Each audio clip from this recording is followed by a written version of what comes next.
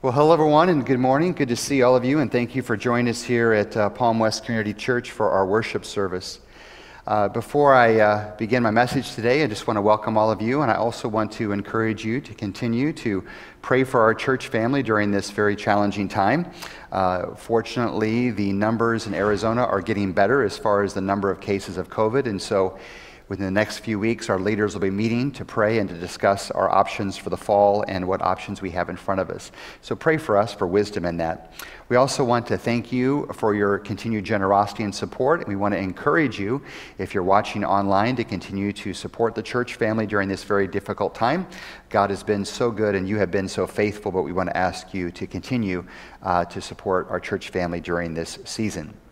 Now, with that being said, today we continue our series on the book of Jeremiah, and uh, we've entitled our series Exile and Hope, because Jeremiah comes and brings some very, very difficult words to the people, and he tells them that they're being called, that God is going to lead them into an exile, a time of great unsettling and turmoil, but God is also going to redeem them and to bring them back. Now, last week we talked about good and bad kings, the fact that there were leaders overseeing the nation of Israel. And some of those kings, like Josiah, were very good, very righteous, very godly. And there were other kings, such as Zedekiah and Jehoiakim, that were not nearly as well. Actually, they were rebelling against the Lord. And we also even looked at Nebuchadnezzar and Necho, the king of Egypt, etc., all of whom uh, Nehemiah had interactions with during his almost four decades of ministry. Today, though, we transition, and today we're going to talk about leadership, but we're going to talk about spiritual leadership. And unfortunately, I've entitled this message Failed Leadership, because by and large, the leaders during the days of Jeremiah were in fact failing. The spiritual leaders had failed God, and they had failed the people. Jeremiah was one of the few that stood out as faithful, as, as true to the Word of God in trying to lead the people. Now, the Bible, from beginning to end, talks about how God uses leaders. Some people had titles, and some did not. Some were called to be civil leaders and other spiritual leaders. Some had titles like prophets and priests and judges and kings and pastors and elders and apostles. Others had no title at all. Some led for a season, some for the long term. Some were good and made a great impact positively others failed miserably. But the reality is that we see God using individual leaders throughout the scripture. Now, a leader is basically just a person of influence, a person who has influence over others. Now, in that sense, all of us are leaders. If you're a spouse, if you're a parent, if you're a grandparent, if you're a neighbor, all of us, in some sense, are leaders because we have influence over others. But there are some people that God calls into the office of leadership. Now, Jesus, we are told in the book of Ephesians, is the head of the church. Ultimately, as Christians, we are to look to Christ. Christ is the one who is to lead and guide, but God uses leaders as conduits to carry out his mission on this earth. Jeremiah himself was a leader. Jeremiah was called by God to speak hard and challenging words to the people, calling them to turn back, to repent, and to come to God. But unfortunately, there were other spiritual leaders in the days of Jeremiah who were also called to be prophets and priests, but unfortunately, they were working against Jeremiah. They were contradicting his message. They were undermining his authority, and in some cases, actively working against him. The book of Jeremiah speaks about leaders in chapter 2 and 4 and 5 and 6 and 14 and 18 and 20 and 28 and more and more chapters speaks about the spiritual leaders of his day. But today, I'm going to turn our attention to Jeremiah chapter 23. And if you have a Bible, I would encourage you to open up to chapter 23 because this is an entire chapter that is dedicated to the spiritual leaders of Israel during the days of Jeremiah. And so, what we're going to do today is we're going to walk through this chapter, not the whole chapter because it's almost 40 verses long, but we're going to walk through a portion of this chapter and we're going to talk about four key mistakes, four ways the leaders, the spiritual leaders, failed the people of Israel and ultimately failed God. So, as we begin in Jeremiah chapter 23, verses 1 and 2, we see the first mistake they made is the spiritual leaders failed to adequately care for the people. Now, I'm sure in some sense they did care for the people and they cared for God, but the reality was that they failed miserably to offer the kind of care that God was calling them to give. Now, Jeremiah, as we saw in previous weeks, had a burden for God. He had this, this fire inside of him to serve God, and he had this deep compassion, this burden for the people that left him in tears. Jeremiah is known as the weeping prophet because he was often broken up and moved to tears when he saw the state of his nation and the rebellion of God's people. The priests, the prophets who lived during the reign of Jeremiah, though, for the most part, they failed to provide adequate care. In chapter 23, verses 1 and 2, here's what it says Woe to the shepherds who are destroying and scattering the sheep of my pasture, declares the Lord. Therefore, this is what the Lord, the God of Israel, says to the shepherds who tend to my people. Because you have scattered my flock and driven them away and not bestowed care upon them, I will bestow punishment on you for the evil that you have done. Now, first of all, the word here, shepherds, is speaking primarily to the priests. Now, there are two key sets of spiritual leaders in the days of Jeremiah there were pastors or priests, and there were prophets. Prophets would go and they were supposed to hear the word of the Lord, and prophets would proclaim messages to the people. They would say, Thus says the Lord. Oftentimes, prophets would live outside the community, or they would have some means of space or margin in their life where they had time to be alone and to seek and to hear God's voice. A couple of weeks ago, I told you a story where Jeremiah was asked to inquire of the Lord, and the Bible says he inquired of the Lord, and 10 days later, God spoke to him. Prophets often had this margin in their life where they could call upon God, seek the Lord, and they would wait for God to speak, and then they would relay those words to the people. They did not have the Holy Spirit was not upon all people the way it is now. They did not have the scriptures as we have the scriptures here today. Then, on the other hand, you had priest. And priests, their job was to work, walk with the people. They lived among the people. They would walk with the people. They would shepherd the people and try to implement the word of the Lord that was given through the Deuteronomic law and through the prophets. But here, Jeremiah says, as the Lord spoke to him, My shepherds have failed my people. They have failed to care for them. It says here, because you have, in verse number two, you have scattered my flock, you have driven them away and you have not bestowed care upon them. Therefore, I will punish you for the evil you have done. Now, does this mean that they drove them out of town? No. What it means is that, that the shepherds were enabling idolatry to take place. They were allowing the people's hearts to drift. They were allowing them to follow after other gods. And not only were they allowing this, but they were often enabling it and encouraging it. And because of this, the flock was scattered, not in the sense that they were leaving Jerusalem, but the fact that they were walking away from the Lord. They were being pushed away by false worship. They may have thought they knew God, but they did not really know his heart. John Maxwell says, People don't care how much you know until they know how much you care. And one of the first jobs of a spiritual leader is to be sure that we're trying to bestow care, to be sure that people know we care. Now, sometimes when you care for people, you still have to have difficult words. Remember, Jesus got thrown out of his hometown Jesus confronted the Pharisees and upset them. But caring for the people is a sense of compassion that we genuinely care about where they are. When Jesus arrived at the shores in Mark chapter 6, the Bible says that he looked upon them and he had compassion for them because they were like sheep without a shepherd. Now, if you join us for our Sunday morning connection, which occurs at 11 o'clock on Zoom, I'm going to talk this week about Ezekiel because Ezekiel was a contemporary of Jeremiah, and Ezekiel has an entire chapter dedicated to the spiritual overseers, the, the priests, and he has a whole other chapter that's dedicated to the prophets because much of uh, Ezekiel's words are, are very much the same as Jeremiah's. They failed to care for the people. But second of all, the leaders failed in this. The spiritual leaders of Jeremiah's day failed the character test. Not only did they fa- fail to care for the people, but they failed the test of character. Now, a big part of spiritual leadership should be integrity. Now, the Bible does say that no one is righteous, no, not one. The Bible says that all of us have sinned and fallen short of the glory of God, and this includes spiritual leaders.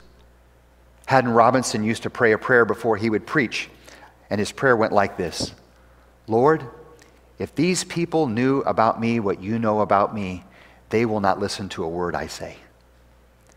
Because Haddon Robinson was a man that was very much aware that even though he was godly and seeking the Lord and the Lord's hand was upon him, he knew that in his heart he was still a sinful person like every other person in the pews. We are all fallible. And if you look close enough and long enough at any and every spiritual leader, at some point their humanity will be revealed. Because all of us have sinned and come short of the glory of God.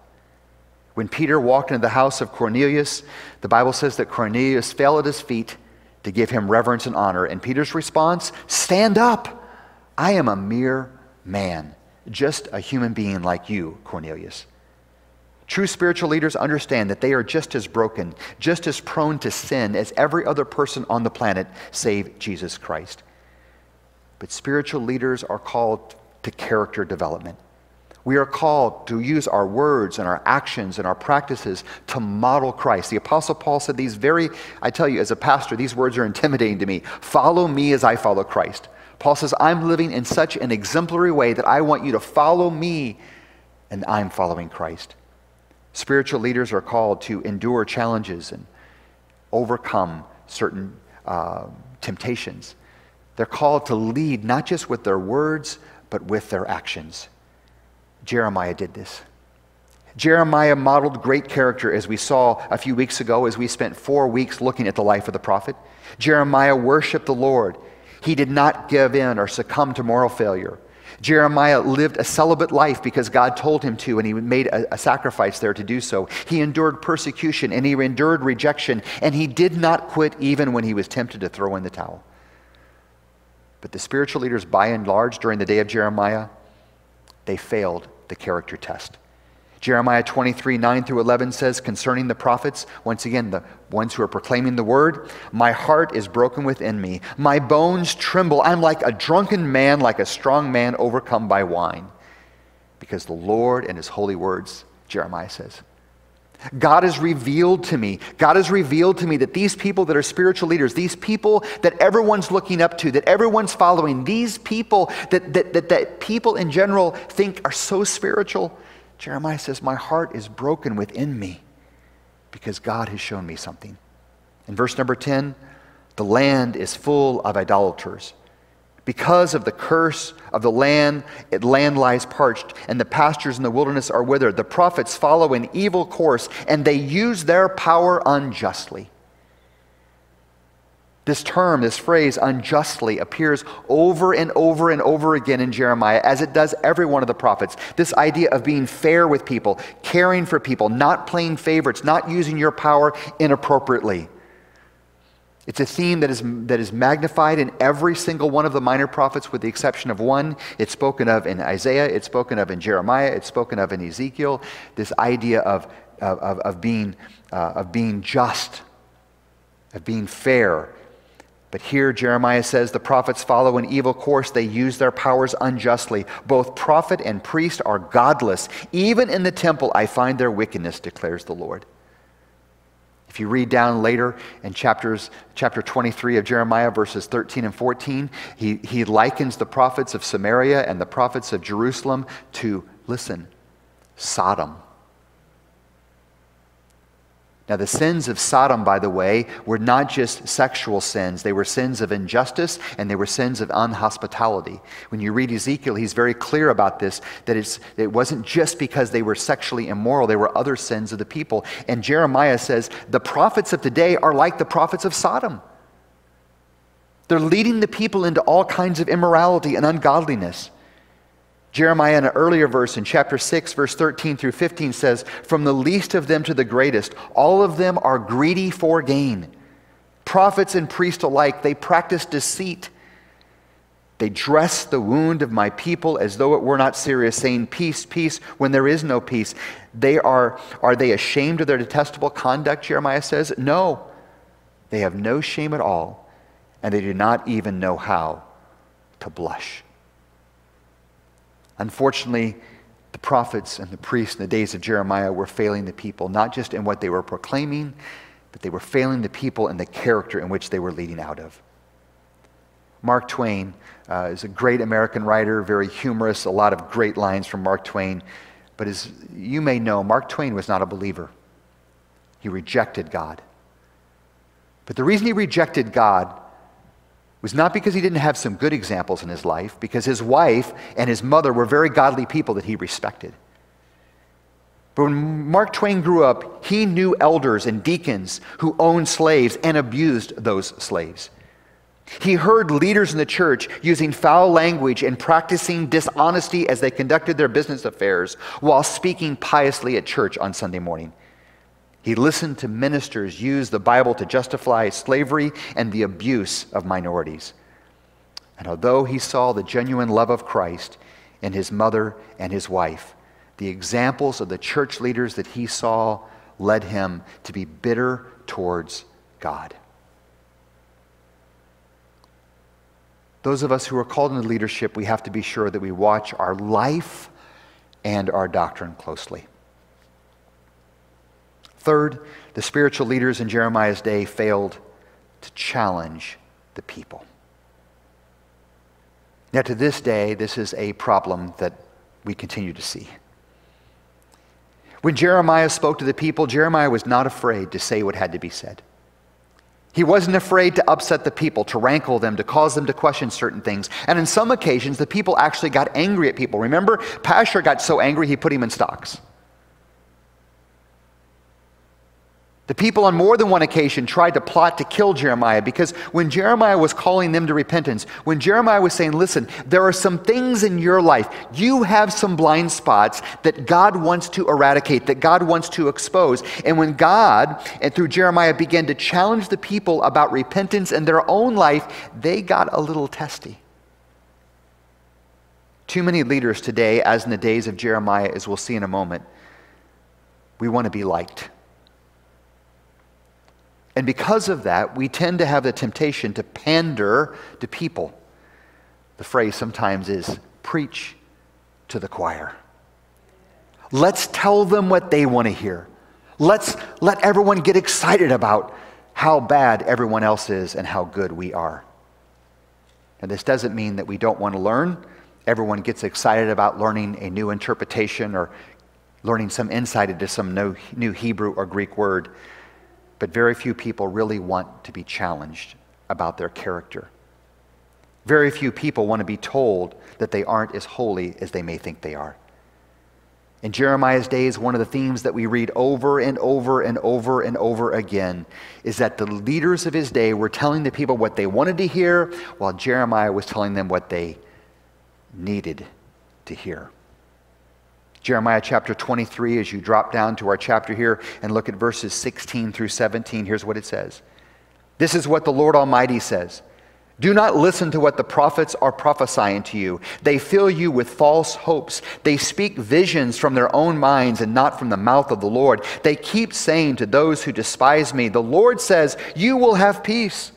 And to all who follow the stubbornness of their hearts, they say, No harm will come upon you. The prophets were validating the people. People that were living in sin, whose hearts were stubborn, oh, no harm's going to be upon you. God's hand is upon you. To those who were rebelling, oh, God is going to be with us. Those who were scared because judgment was coming upon Jerusalem, oh, it's going to be peace, peace. God's going to deliver you.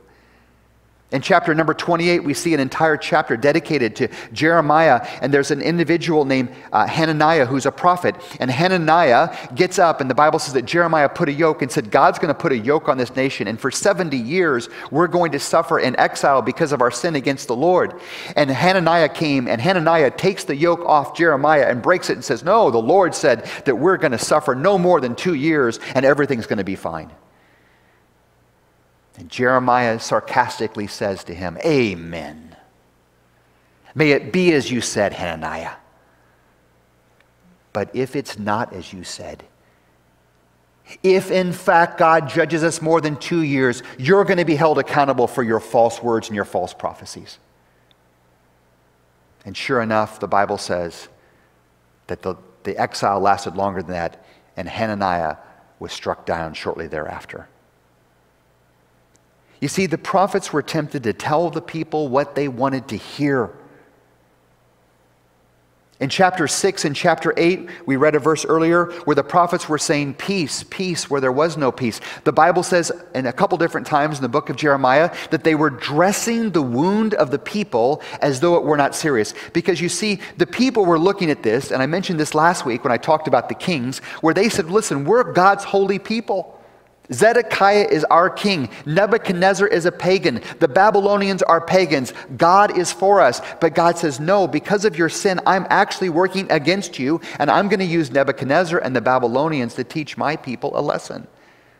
Because God's greatest concern was not to punish his people, God wanted to see his people become holy. And they had become so holy, they were blind to their blindness.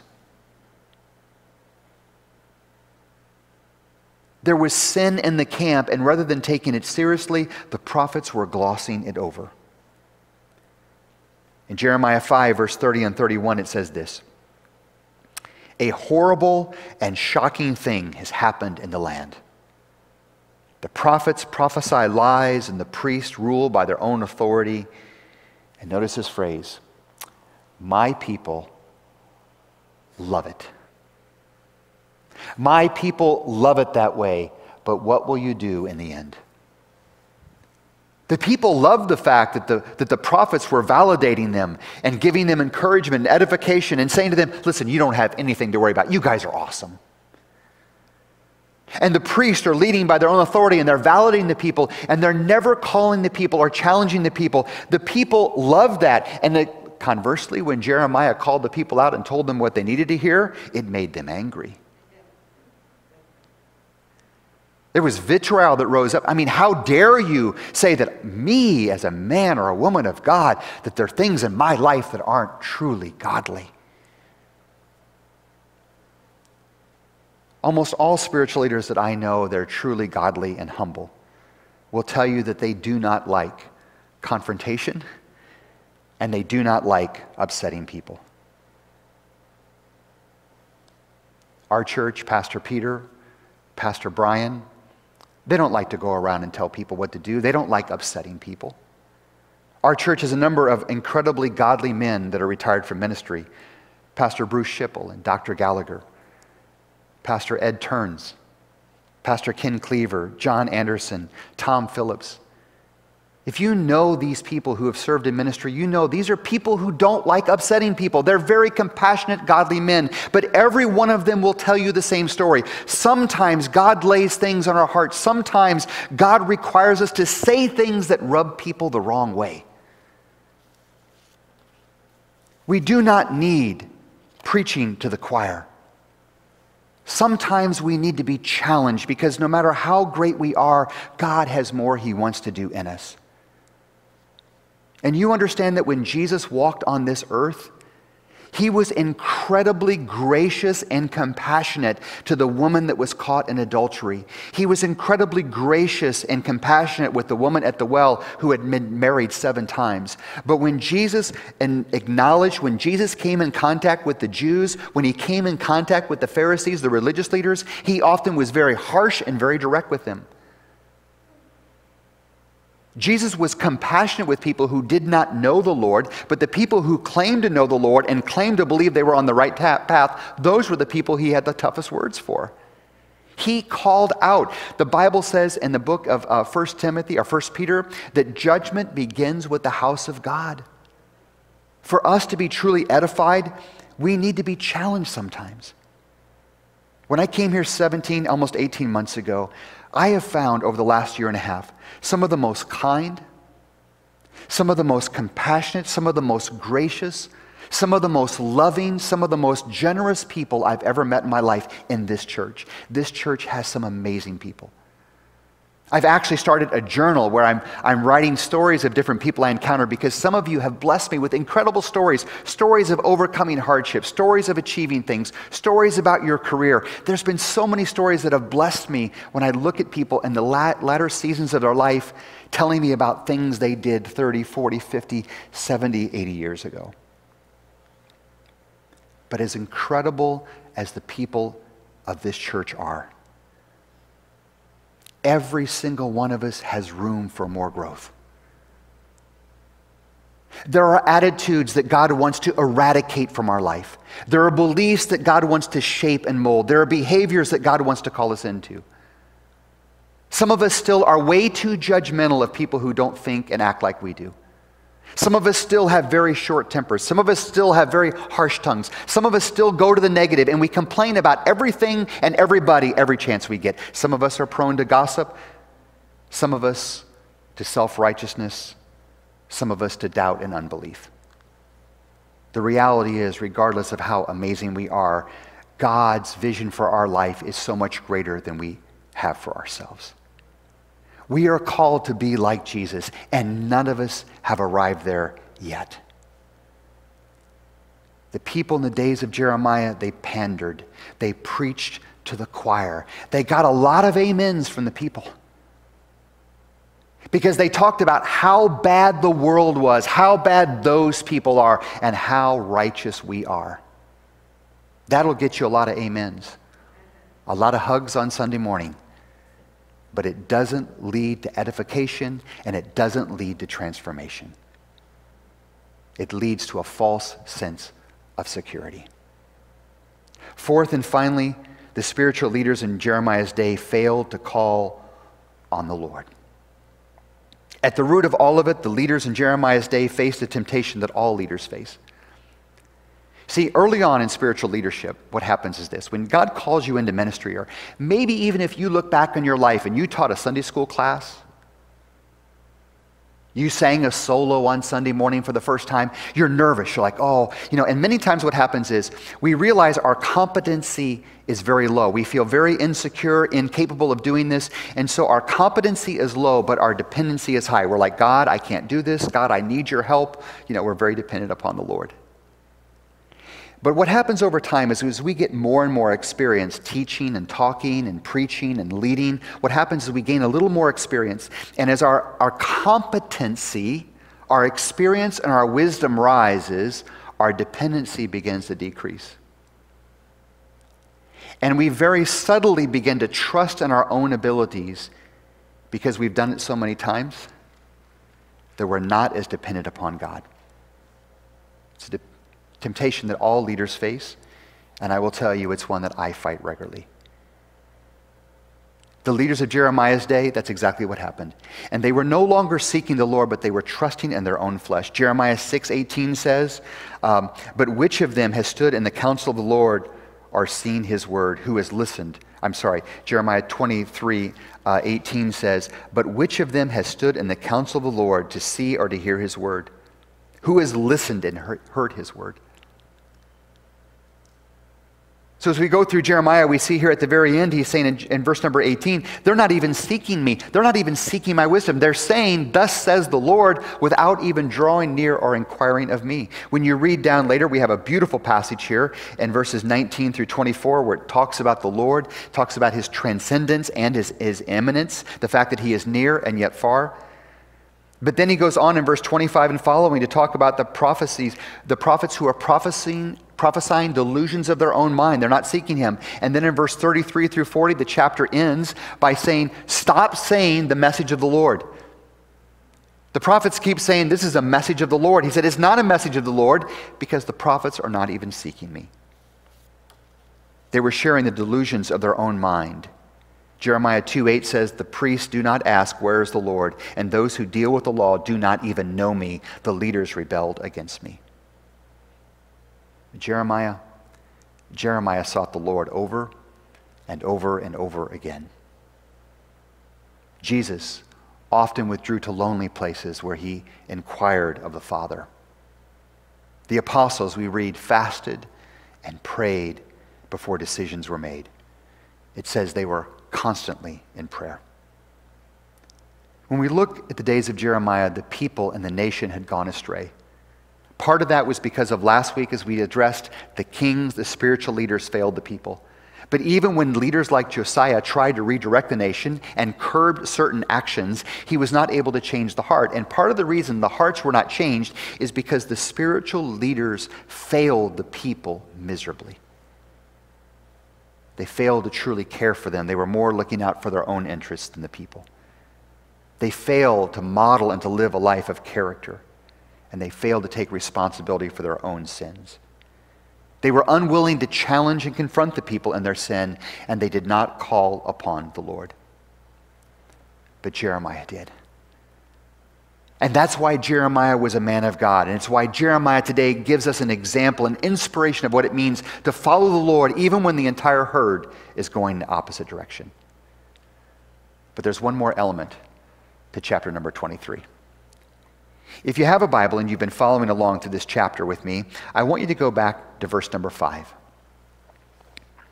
Because while Jeremiah, through the word of the Lord, comes to him and he challenges the spiritual leaders of his day, we find this very beautiful messianic passage. This passage that speaks about the coming of the Messiah. The days are coming, declares the Lord, when I will raise up for David a righteous branch, a king who will reign wisely and do what is just and right in the land. In his days, Judah will be saved, and Israel will be live in safety, and in the name by which he will be called, the Lord, our righteous Savior.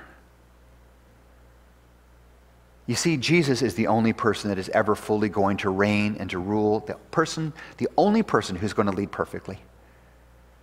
He came and he gave his life. He lived a sinless life so that we could be forgiven. And he died on the cross and rose again from the grave so that we could be forgiven of our sin and we could have the hope of eternal life. And one day he is going to return.